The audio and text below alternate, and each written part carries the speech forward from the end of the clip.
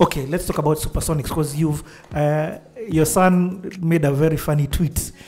He said, "My dad at my at 25 was doing supersonics, and here I am just trying to do football or something of the sort." I didn't see it. Uh, uh, it's, I've shared it even on, on the video Okay, right now. okay. So, how fast can that? What's supersonic? Sup- Supersonic is the speed of sound. Mm. So means you are going faster than the speed of sound. That's why when it passes, you hear the noise later. Mm. You know, you- Yeah. after it's long gone. By the time you hear the noise, you look, it's, it's long gone. But you cannot sustain it for long because it uh, takes a lot of fuel. So supersonic is used for for war.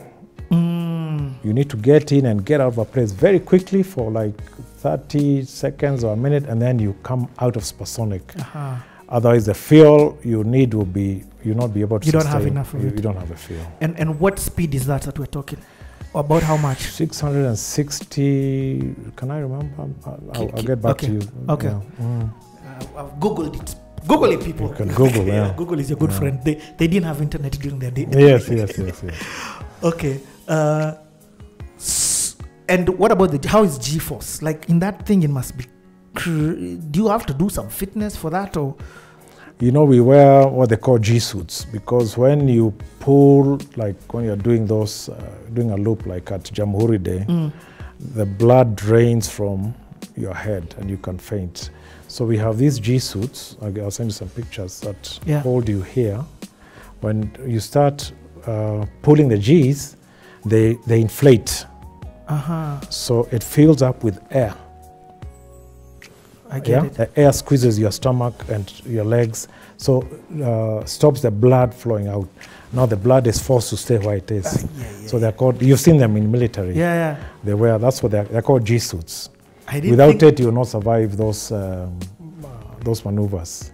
Have you ever passed out, even as a passenger? No, no. Or you've not had? No, no. They, they, they, they protect you quite well. Whoa. They protect you quite well. Hey, there's, there's a lot that people don't know that that goes behind the scenes. Yeah, yeah. That's that's pretty interesting Yeah. about the G-force. It's like when you go to like the roller coaster Mm, mm, and mm. it goes Yep, up. yep, you, yep, you, you can feel. Yeah, Yeah, yeah. Now imagine that times a hundred. Yeah. And, uh, so the, they're called G suits. Very handy. Interesting. Did you ever support a country in war? Kenya's allies? Not in my days. Not in your days, huh? No. That's so I think this KDF thing has been recent, the last 10 years. So, Yes, yeah, yes, it's yeah. true. It's true. Not in my days. Okay. Mm. But of course, you went to do trainings with. Next to the Nanyuki uh, Air Force Base is the British uh, military camp. yeah, although we have nothing to do with them. They come here to train their own soldiers. We, Ex- we have, there's So no, there's been no partnerships in. there- no, no, no. There's, there's no connection at all. Oh, that's. No connection. And you literally share a fence, Yeah, we share a fence, but there's no connection. just in case you two. They do occasionally train with uh, our army, our Air Force, but there's no. Yes. They don't have uh, aircraft or anything, so they have nothing except to. And I think they bring their own helicopters, they bring their own everything. Yeah, so, yeah. so they have nothing to do with the Air Force. Okay. Those days, maybe now they do. Okay. Yeah. Interesting. So, at any of this at this period of time, do you then? Uh, you said you then decided to. You then left the Air Force in 1985. So let's get to 1985. 1985, I was posted to Eastleigh Aha. uh, at the flying training school where I was a chief flying instructor.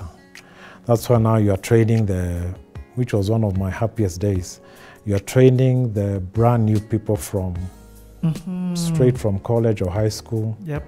So I did three years of that uh, from 85 to 88. hmm So that Uh, means you're no longer flying.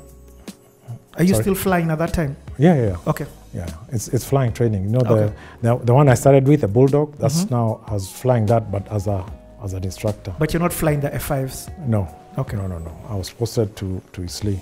Uh, the military is that as you get senior, and s- as you get certain uh, level, now you have to move up to. Okay.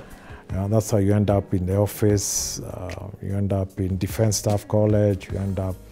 So there's a, there's a movement that uh, that happens. Okay.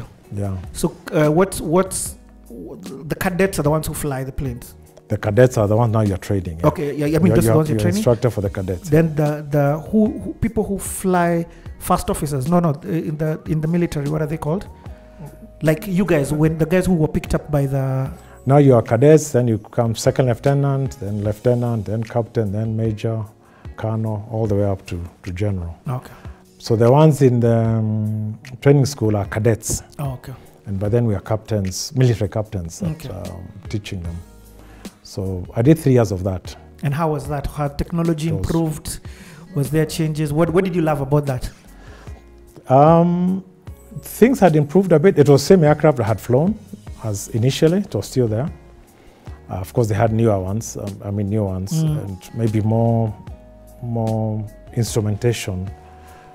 Um, but it was, to me, that was my happiest days because some of the people you are training can't even ride a bicycle. Mm. They have been picked from all over Kenya through that Uh-huh. selection process. Super smart. But you hear this guy is from Wajir, Mm. straight A. But uh, unajua bicycle, he says no. He, has, he, he never owned a bicycle. But give him a maths problem, you solve it like a So you're taking him up. Uh, can't even drive a car. Yeah, So his first uh, big thing is an aircraft. that's crazy. And you, are, you get so happy when a guy like that makes it, you know. Mm. You go all the way and he finishes and he's a pilot, you just, it's a lot of joy. Yeah, Yeah, because it's straight from the bush to, to the air. to the air. And some, some are still at Wilson or now Mm. retiring. Mm. Uh, we have a few in um, the Air Force, I mean the airline. Yep. It, it, that, was, that was a very happy time for me. And at this time, is do is Kenya Airways there? So are you looking on the on the other side? I'm not. So when I finished what they call um, medium service commission, which was 10 years, I did 11 because of when you go for a training. I did my instructor training. You are bonded. So I, normally it's uh, you do five years, 10, Mhm. uh, which is called medium. Short service commission is 5 Mhm. medium is 10, or after 10 now you have to stay for life until now you you you retire or resign. Mm. So I went right on the dot, 10 plus the one year I had for, um, for being bonded. Yes. So I left and um, hopped the US to do my uh, um, civilian license for a few months, came back. And uh, Kenya Airways was recruiting. That was in 88, Woo. I love it. late 88. Late 88. And at this time, uh, uh, no, no, the, the boy hasn't been born. Your, your firstborn daughter hasn't been born. No, not then. So, 88, come back to Kenya and Kenya Airways are recruiting. Was Kenya, was Kenya Airways in existence before, or when did Kenya Airways start? Um, you know, there was started off as East African Airways. East African, yes. East African Yeah. And then when the community broke up, then it became Kenya Airways. Kenya Airways was in existence then. Oh, okay. Yeah, very much in existence. Okay. Mm. Yeah. So, so what made you decide you want to go uh, into Kenya Airways and not into into something different? Um, at that time, that's the biggest place. Um, I really enjoyed flying. Mm. I still enjoy flying. So when I got out and I got my license, I actually got a job at Wilson at, with Air Kenya. Mm. But just before I could start, uh, Kenya Airways announced their recruitment. So I, Kenya Airways was to me a better, um, the prospects were better. Mm. In fact, I know what I wanted to ask. Sorry, I asked that question wrong. What I was trying to ask is at that time, you've talked about, first of all, there's the whole uh, political climate that's happening. It's, that's, that's part of when why I asked about it earlier. A lot of Kenyans, America is a one way ticket. It's You're not coming back. Mm, mm, So, what made you want to go and study and come back home to be a pilot rather than look for greener pastures outside? I guess family, because by then, of, of course, um, you know, we were together. Gina moved to Nairobi. When I was posted to Eastleigh, Mm. uh, to the flying school, um, that's how she, she, she joined Barclays Mm. as the head of PR.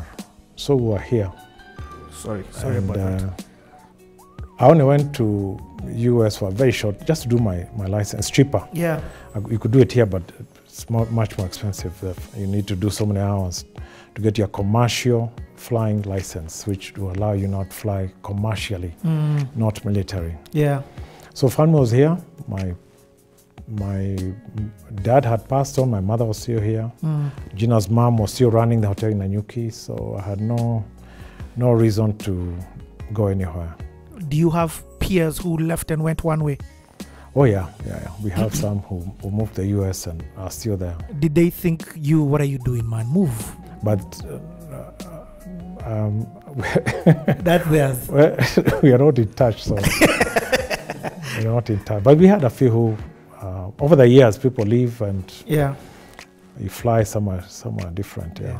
I just know at that time the political climate, there was a lot of, there was a mass exodus from Kenyans Yes. to various parts of, of, Of the, globe. world. Yeah. Yeah. Especially US. Yeah. Yeah.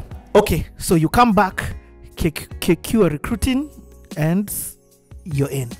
I mean, How's that? 19. What's your first day at KQ? uh, I think it was December 1988. December 1988. Mhm. Ah, let's take a break right there. we'll come back and have a conversation from that. Okay. Okay, go. Thank you.